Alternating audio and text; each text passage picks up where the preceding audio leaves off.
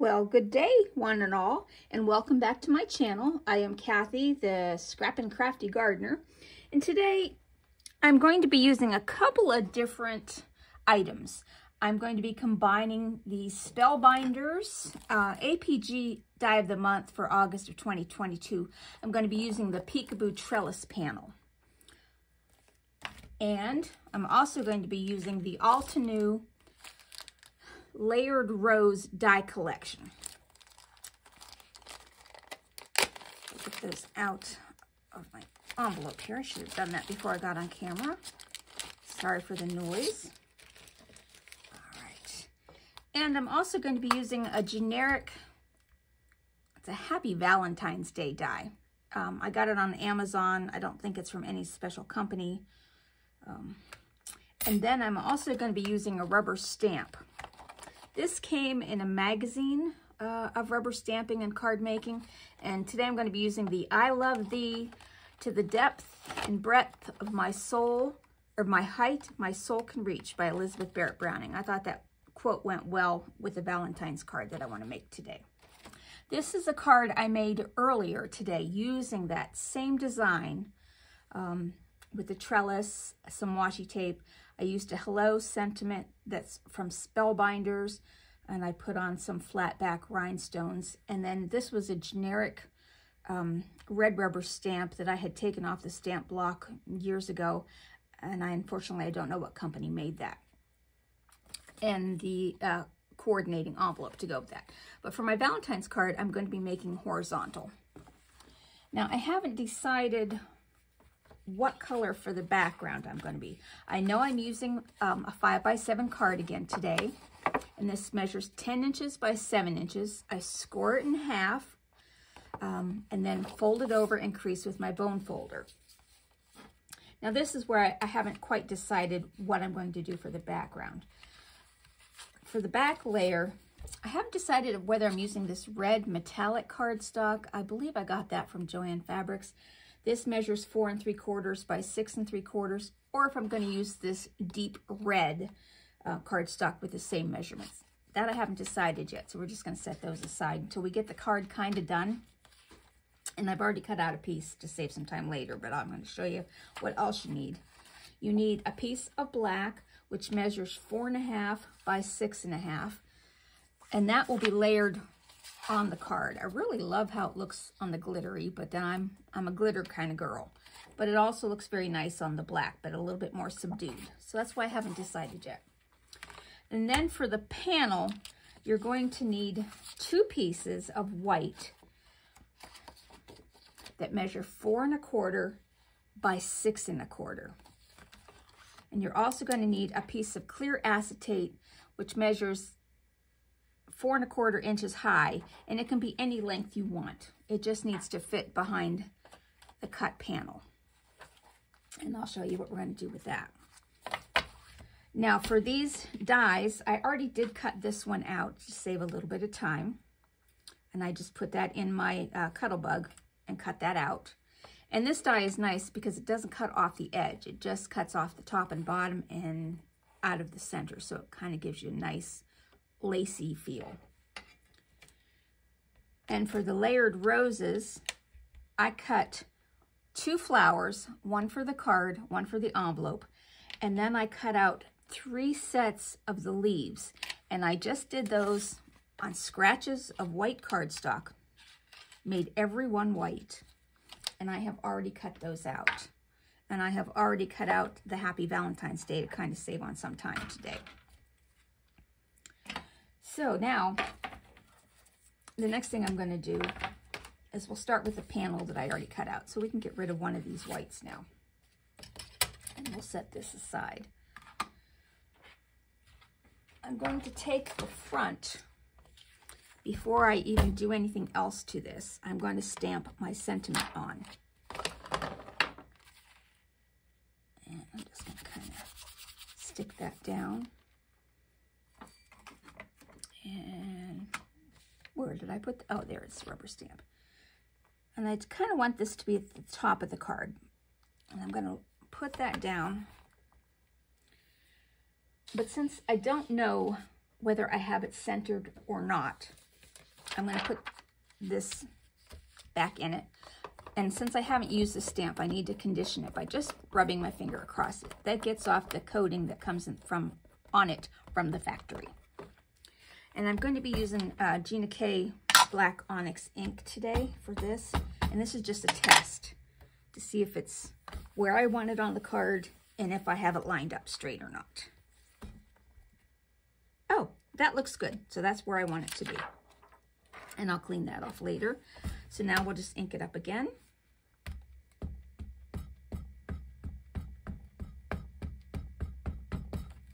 And this will take a couple of times.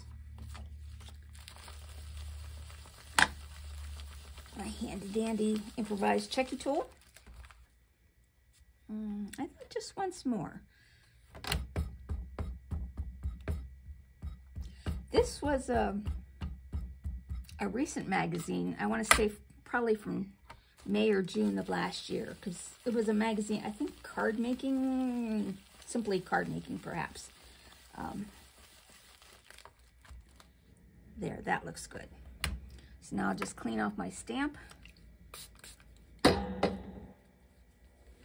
using plain old water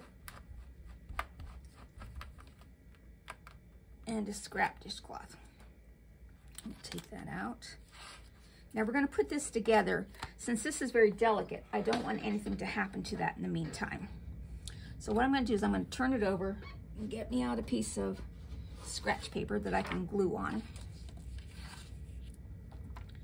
Now, I'm going to use my art glitter glue today. And I'm just going to put a few dots on the leaves only. Just a little bit because this is going to go on the acetate. And I don't want the glue to seep through and show on the acetate.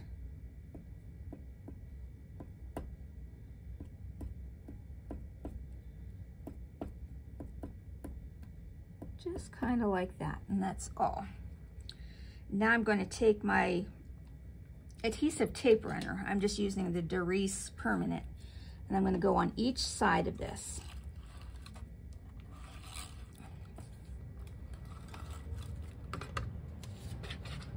Wipe my acetate off here. And this is why it needed to be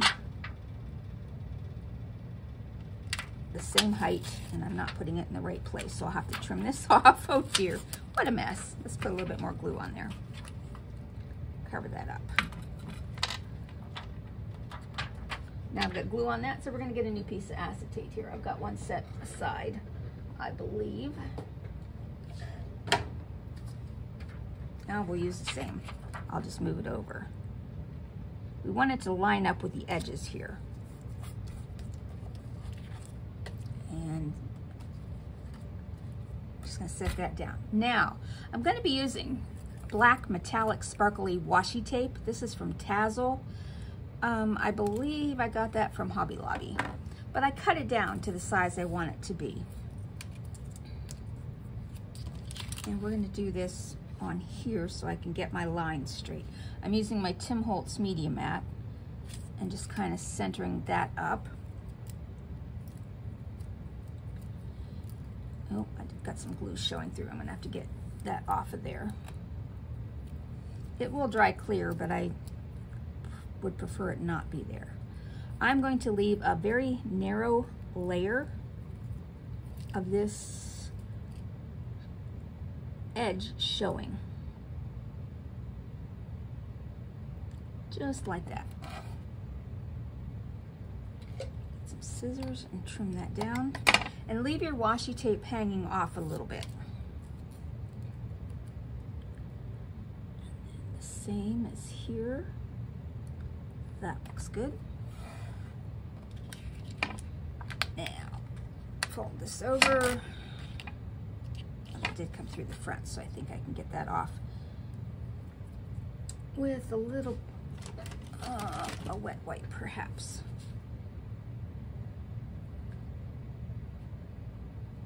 Yes, that worked. All right. Now we're going to fold that extra washi tape over. Washi tape sometimes has a reputation of coming off the card if you don't secure your ends down. Now we're gonna put glue on the back of this.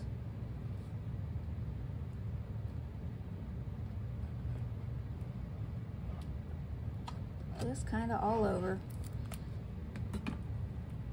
And put our second piece right on the back. Oh, nope, not gonna do that yet.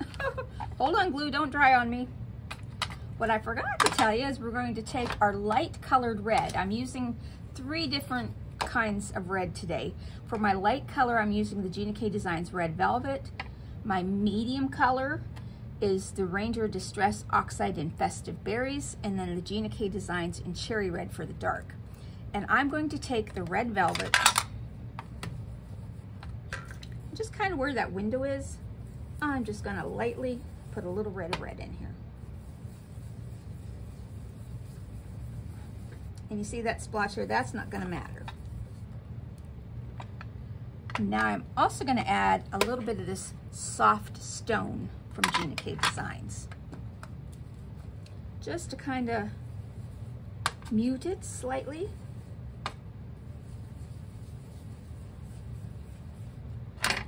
Ooh, well, I got my glue all over, but that's okay. Now we will put this down. I want a little bit more glue on here. Of course, you get this all planned out in your head, and then things go wrong once you get it on camera. But that's okay. And that gives it a little bit of red coloring. Now, if there's anything that needs trimmed off, this is when I'm going to do that. I didn't get things lined up quite correctly. I will trim it off to make it even.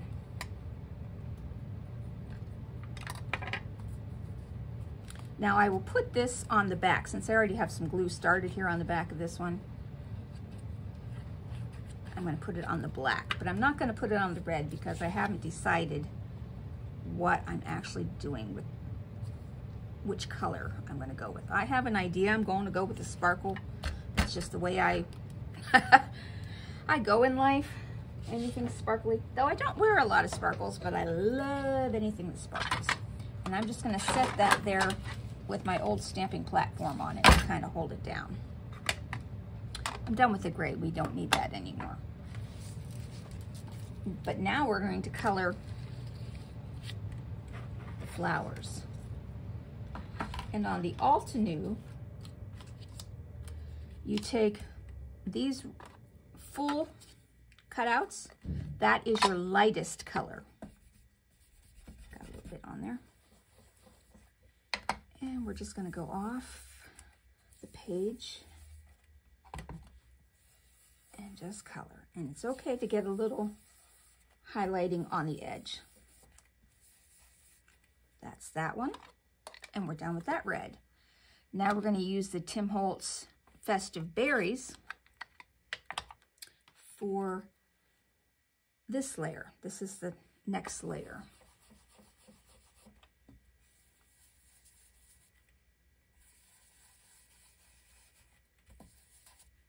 I want that to be a little bit darker. And then that will go on top of that.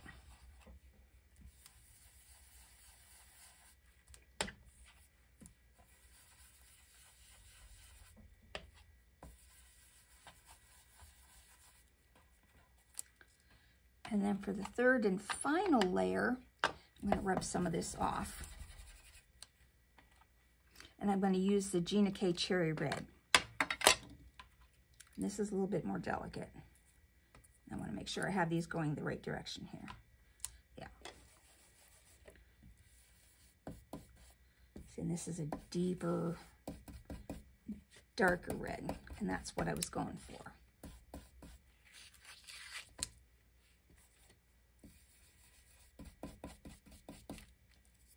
And that will go on top.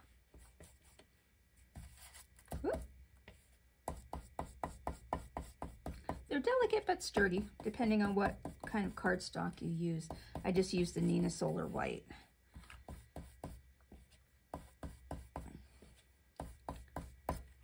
sometimes I just use a scrap and I have no idea what it is. It could be a scrap of watercolor paper, uh, but this I know was the Neenah Solar. All right, now we're going to do the leaves. If you haven't seen these, um, I got these little trays at Dollar Tree, and they make great trays for putting your embellishments in. Um, or your die cuts. I have it over at my Cuttlebug um, so that when I'm die cutting, I can just put the pieces right in there. Now for the green, I'm going to be using, the lighter color is Gina K Designs Jelly Bean Green. And we're just going to do, the full one is the light color.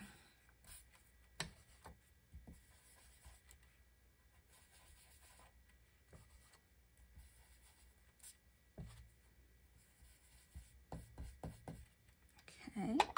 And then for the darker tone, I'm using Gina K Designs Fresh Asparagus. Let's make sure I have these going in the right direction. Yes, I do. I'll move these up a little bit more in case you can't see that. I'm, I apologize.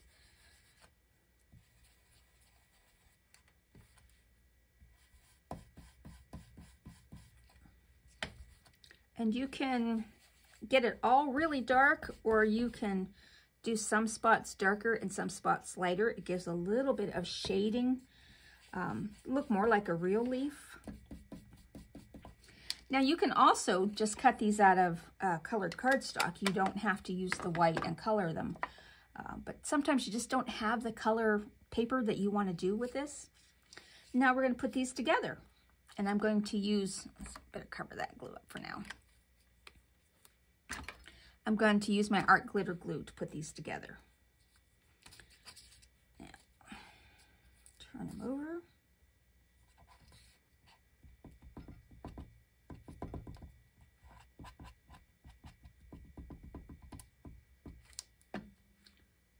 Lay that down on top of here. And turn this one over.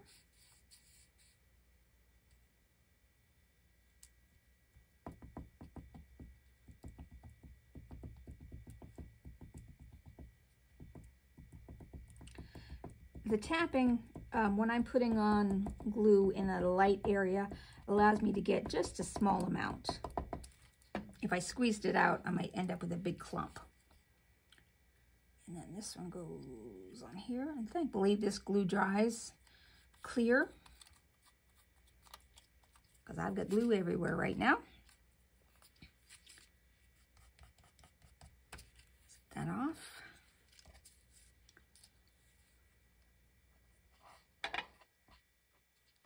In the big areas, you can scrub it in, but when you get to the smaller areas, kind of tap it.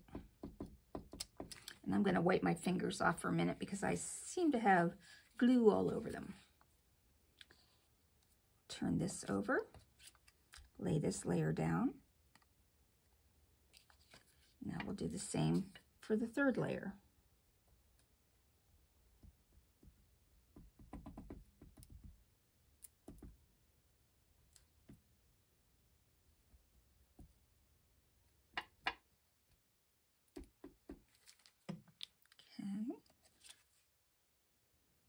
That'll be the last layer down there. Slide it in.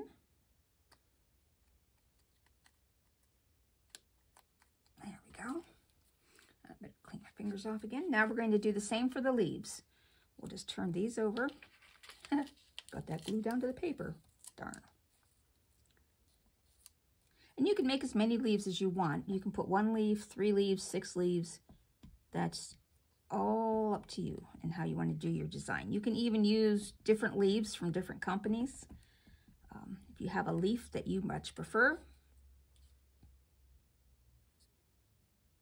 use it. This is all about your creativity and how you picture things in your mind. Get that extra off there. Come on, turn over. There is no right or wrong. It's your choice because you will be the creator. And that's what I love about homemade cards. you put a lot of time and effort into it, and it's kind of a gift of love in itself.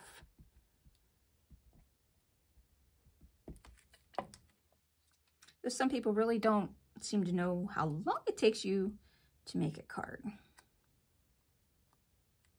There we go. Clean off my hands again. And now we will get the um, Valentine's greetings. Now, when I cut these out, I use scraps. And I made them fit as best I could. And I cut out three so I can stack them together. And you see this one, I didn't have quite enough um, of the paper left when I was cutting out, but I didn't want to waste it. So that's going to be my middle layer. So I'm going to take one of these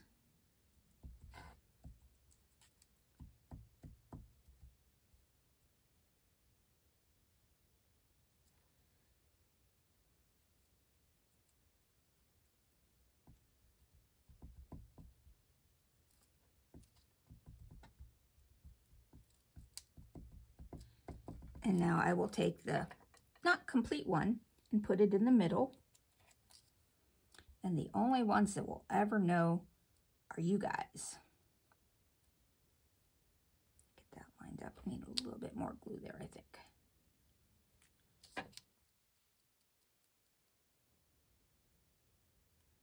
And here go. Sometimes and I see a center wasn't popped out of that A. There we go. Now,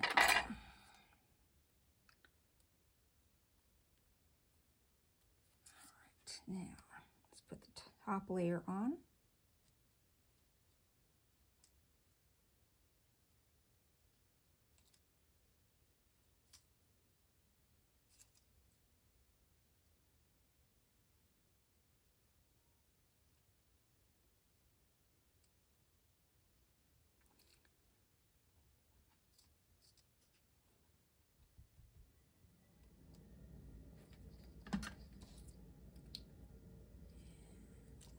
Less layer down. I think I should have named my channel Kathy the Messy Crafter. but that's my process. And I'm sure other people out there are the same. You see a lot of these people who make it look so perfect and well, that's not life for me at least. Now, I'm to take our card Oh, let me clean off my fingers first because glue, glue everywhere. And I'm also gonna remove this sheet of paper because it's got a lot. Come on. Did I lose? Oh no, there's the leaf. I don't need a little bit of glue to hold that down.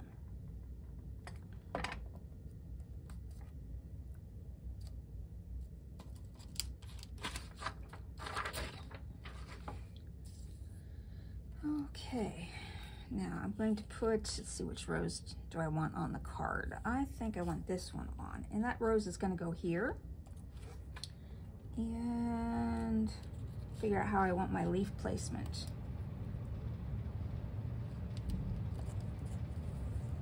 See how the, the red and the gray together kind of made it a, a peachy color.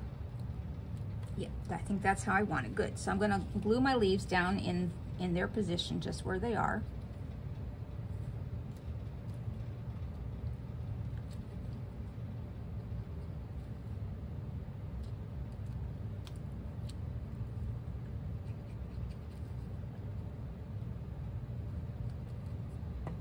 now I want to pop up this. So I'm going to use some foam tape. Let's see, where is that foam tape at? Thought I had it sitting here. Pardon me while I hide and seek. Ah, there it is. This is a half inch foam, foam tape. I,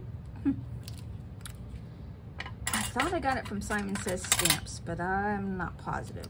I never really used to care where my products came from. Um, I would get them, I'd put them on the cards that I put them on and not write down whose product they were. Now I try and be a little bit better at that. And then this will go here. Okay, now we're going to glue down our Happy Valentine's Day. No, don't want it angled. We'll just put it straight up and down.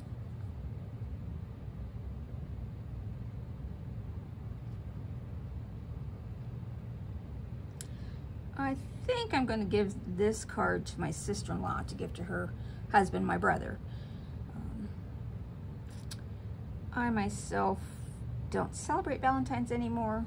That was my wedding anniversary many years ago. And since my husband passed away, it no longer holds the meaning that it did to me. So I don't often make Valentine's card, but I know my sister-in-law was looking for one for her husband. So I think that's what I'm going to do.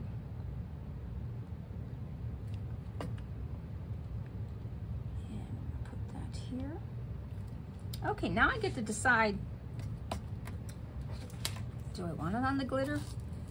Oh yeah, but let's, let's take a look. No, definitely the glitter.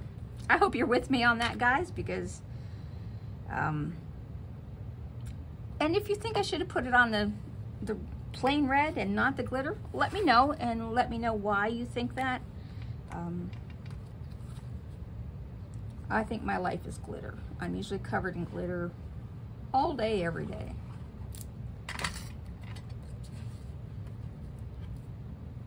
Put that right on there. Now we're going to put it on the card itself, and then I'm going to add the uh, rhinestone embellishments.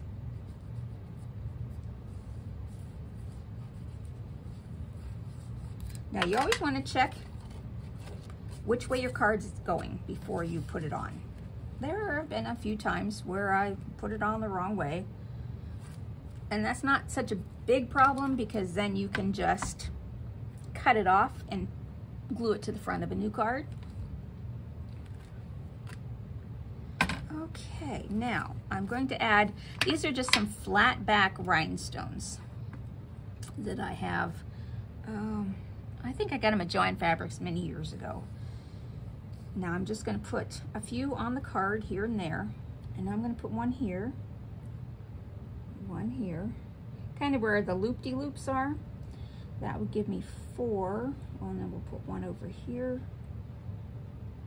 And we'll see if, if I need them elsewhere on the card, so let's see. This is my close to my heart wax pencil. And there's another cat hair. I think at the end of this, I might include some still photos of my cats so that you can see why I have cat hair everywhere. They don't come down to the basement usually. Oh, I think that's good. Do I need any over here? I don't think so. Or do I?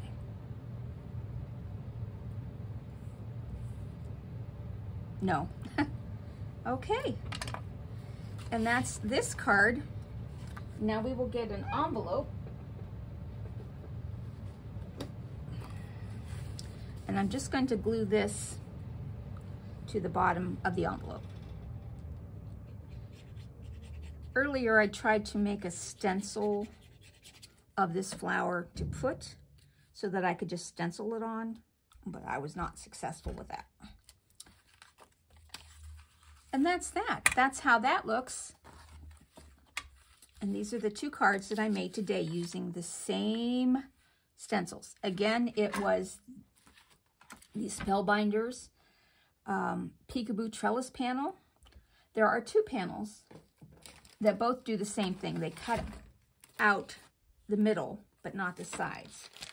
The other, the other one is more actual like fall leaves, and that would be a beautiful fall card. But I, I like this one for romantic slash sentimental kind of cards. I think this also would make a nice sympathy card if maybe you did the flowers in um, a darker color, perhaps several different shades of gray and black. Um, oh, you know what? I'm going to add a little bit more bling. Um, I got my Wink Stella, only this time it is glitter black. And I'm just going to put that on top of the Happy Valentine's Day. That will add that little bit of sparkle that I thought this side needed, but I didn't want to put it on with a rhinestone. Just adds a little bit of bling. Without looking too in-your-face blingy.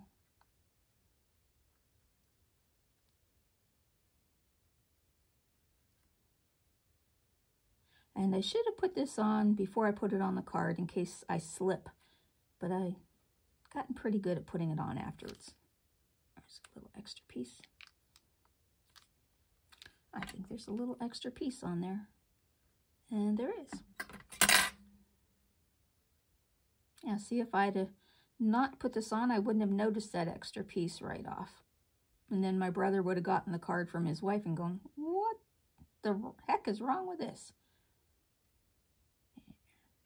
Went off a little bit, so I'll get my white gel pen and cover that spot up.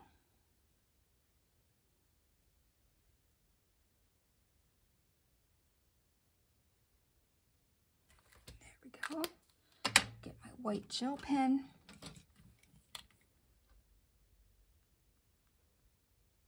Just cover up those spots. There, now it's done. If, I don't know if you can see that little bit of extra glitz to the Happy Valentine's Day. And that is it. Uh, thank you for watching. And I hope you have a great rest of your day.